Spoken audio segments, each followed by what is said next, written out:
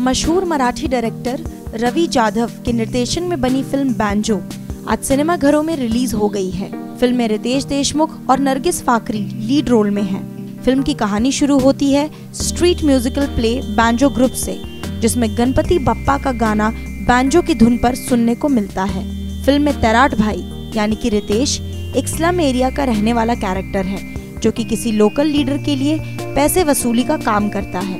वहीं दूसरी ओर, क्रिस, यानी कि नरगिस फाकरी न्यूयॉर्क की निवासी रहती हैं, जिसे म्यूज़िक से काफ़ी प्यार है और वो बतौर अपना एक म्यूज़िक एल्बम लॉन्च करना चाहती है।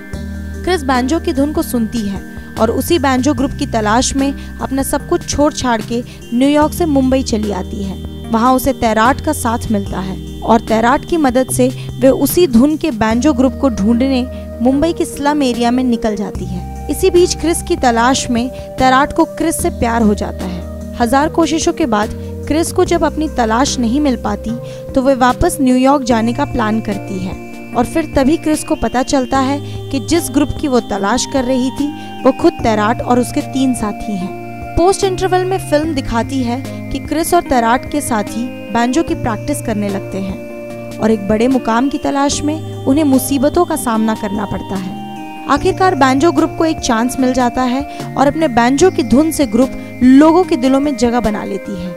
कहानी में ट्विस्ट तब आता है जब विरोधी टीम तैराट को गलत इल्ज़ाम में फंसा देती है और तैराट को जेल हो जाती है।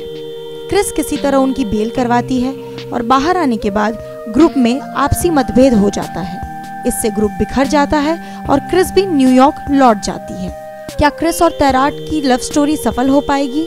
क्या तैराट और उसकी टीम अपने मुकाम में सफल हो पाते हैं? ये बाकी की कहानी में नज़र आता है। अब बात करें फ़िल्म की स्टोरी स्क्रीन प्ले डायरेक्शन और परफॉर्मेंसेस की। तो सबसे पहले फ़िल्म की स्टोरी और स्क्रीन प्ले की बात करें, जो काफ़ी कॉमन और ऑर्डिनरी थी। कुछ नयापन देखने को नहीं था इस फ़िल्म में। कैरेक्टर्स की बात करें तो कैरेक्टर्स वीक थे और काफ़ी सारे सीन्स को इमेच्योर ढंग से पेश किया गया। फ़िल्म काफ़ी लेंदी है, जो ऑडियंस को काफ़ी जगहों पर बोर करती है।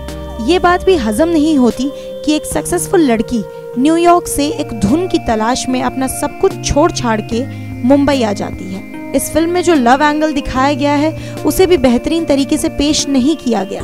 क्रिस उर्फ़ नरगिस एक बैंड ग्रुप के मेंबर के किरदार में ढलती हुई नहीं दिखी और उनकी प्रेजेंस फ़िल्म में उनके बोल्ड एंड रिवीलिंग अवतार की वजह से ही नज़र आती है। वहीं दूसरी तरफ़ रितेश अपना किरदार बखूबी निभाते हुए नज़र आए। हालाँकि वो अकेले इस फ़िल्म को अपने बलबूते पर खींचने में सफल नहीं हो पाए। और इसका मेन कारण रहा फ़िल्म की कमज़ोर स्क्रिप्ट और कैरेक्टराइजेशन फ़िल्म की बाकी किरदारों ने अपने किरदार ठीक ठाक निभाया है।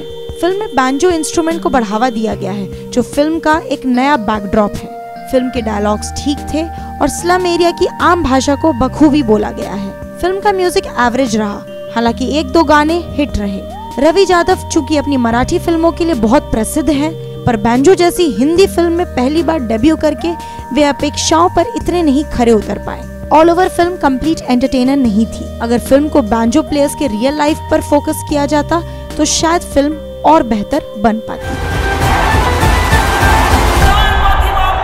तो बॉलीवुड नज़र की टीम की तरफ़ से हम देते हैं इस फ़िल्म को 1.5 स्टार बजा के जाऊँगा। उसी दिन उसी जगह तू रोक के दिखा।